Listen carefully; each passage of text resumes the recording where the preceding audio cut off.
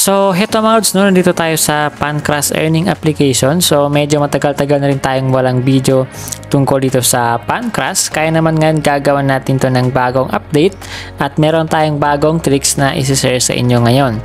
So, dito pwedeng pwede tayo makapag-withdraw minimum 500, 1,000, 2,000, and maximum 25,000 libreng GCash yan mga lods. At dito hindi lang GCash, meron din tayo dito ML Diamonds. So, sa mga nag-ML, pwede rin kayo mag-withdraw ng inyong coins direct sa inyong uh, ah, ML account through uh, ah, ML Diamonds. Okay? And of course, meron din silang PayPal dito. So, ayan, 1,000 saka 2,000. But of course, karamihan sa atin, ang convenience ay Gcash. Okay? So, meron tayong bagong tricks na isi-share sa inyo at gagamitin natin dito sa Pancras Earning Application. So, before yan Mouds, no, isi-share ko muna sa inyo itong Bitly page natin kung saan nandito na lahat ng mga free at legit earning application na talaga naman nagbabayad via GCash since 2023. At karamihan po dito sa kanila, meron silang mapa-free bonus upon signing up uh, free 50 pesos, 60 pesos, 70 pesos, yung iba nga po up to 500 pesos na libreng bonus lamang sa pag-sign up. So makikita nyo dyan sa ating description ang link nitong bit.ly page natin. Hey, what's up mga Snow? Welcome back na naman. So, for today's video nga po, gagawan natin ng bagong update itong si Pancras Earning App na talaga naman legit and paying talaga via Gcash since 2023 pa to mga lods. Okay? So, bagong update to at bagong tricks din ang isi-share natin sa inyo. So, ito as you can see, Pan Award ang kanyang developer and meron siya ditong uh, ah, 4.1 rating. So, medyo okay na rin pagdating sa ganitong earning app kasi naman, yan, as you can see, marami na rin nakapag-review. Siyempre, iba't ibang experience ang bawat uh, users or mga uh, players dito mga loads. Okay? So, as you can see, marami na rin nag-downloads dito mga loads. No? Nasa 1M plus na rin ang kanyang users. So, ilalagay na lang natin ang download link dyan sa ating description. Okay? Click lang natin itong play. So, pag nandito na kayo, ang gagawin nyo lang, ay maglalaro kayo dito mga lods. Okay? So, yun lang yung gagawin nyo. And of course, para makapag-login kayo, mag-login lang kayo using your Google account. Ganun lang kasimple dito mga lods. Okay, so before natin i-share ang tricks sa inyo mga lods, no, or before natin i-reveal ang ating tricks, of course, i-explore muna natin itong dashboard natin or itong earning app na to kung paano ba tayo pwede magkapag-ipon ng coins na pwede natin ipalit into Gcash money. So, first ay maglalaro dito sa kanilang uh, games. And of course, meron din sila mga tasks. Yan, meron uh, top bonus, meron audio bonus. Yan yung mga iba't ibang tasks. Meron survey, meron watching ads, at marami pang iba. And of course, meron din tayo dito uh, invite friends na pwede rin kayo mag-invite. So, click nyo lang yan. Yan, tap nyo lang yan mga lods. So, medyo may pagkalag lang to ng konti. And ito, sa mga gusto pang mag-invite, so copy nyo lang itong invitation link nyo, tsaka yung invitation link nyo. So sa mga gustong mag-invite, ikakopy nyo lang itong invitation code nyo, pati yung invitation link nyo mga lods. So ayan, di ba? Okay, so back natin.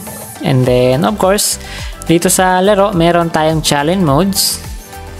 So dito man, so dito naman sa kanilang uh, laro or sa kanilang games, meron sila dalawang mode. So, meron challenge mode at saka competition mode. So, I recommend dito na lang tayo sa challenge mode. So, mag-start tayo dito sa level level 1. So, open lang natin yan. And as you can see dito, mas napaka-basic lamang po ang kanilang game. So, magta-tap lang tayo nitong mga fruits. And, pwedeng pwede tayo makaipon ng libreng coins.